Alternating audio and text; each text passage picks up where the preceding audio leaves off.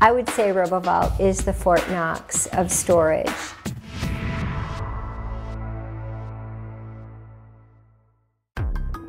RoboVault in Fort Lauderdale, Florida is one of the world's most secure private storage facilities. This vault is blast proof. The glass here is bulletproof. If I needed to be in the safest place, I'd put myself here at RoboVault.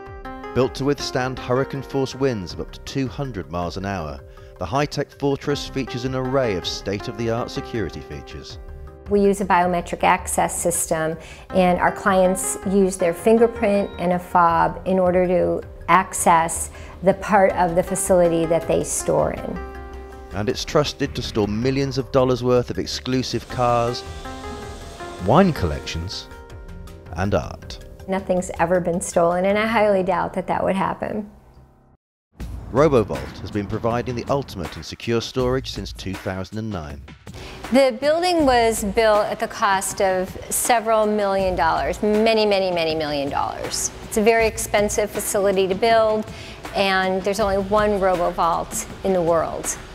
It's a museum quality facility. The system is fully automated. It is all run via computer. There's no human access in this section of our facility. So from beginning to end, each mission is run completely automated for the ease of and convenience of our clients and gives them the ultimate in safety and storage for their vehicles. The vault houses up to 200 high-end vehicles, from supercars to rare vintage models. So once a vehicle goes out and comes back, it may not be stored in the exact same spot, which adds another level of security.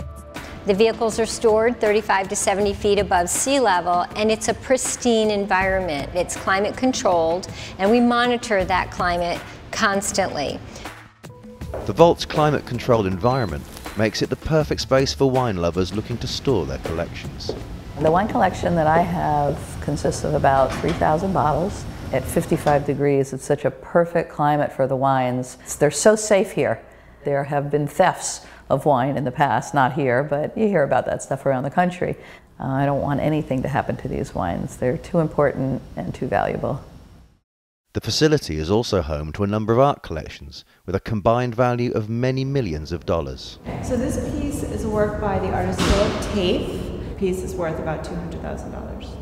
And all of the art is stored away in these automated units, which are not, there's no human interaction whatsoever. All of it is returned directly to the, the storage area. This is only about half of the collection, and I don't know, the whole collection is worth over a million dollars. With nobody, no one can even know where the units are. There's hundreds of them, and it's all controlled by um, a computer program. One of the most important features of RoboVault, in addition to the strength of the facility, is the backup systems that we have in place. This is our generator. This generator can hold us for up to 14 days should we have a power disruption and we have about 6,000 gallons of fuel in reserve in our tank. But the most important feature is that we're very close to the Fort Lauderdale airport so we're on the airport grid, which means we would come up immediately after a storm. And RoboVault's tight security has attracted the custom of a number of big-name clients and some rather eccentric items. So we have some clients uh, that are very well known. Of course, we're under non-disclosure agreements, but uh, we have, yes, we have some interesting celebrity clients here. I often get asked what's the most unusual thing that I've ever seen here, and that, and that was pallets of Mongolian dinosaur bones.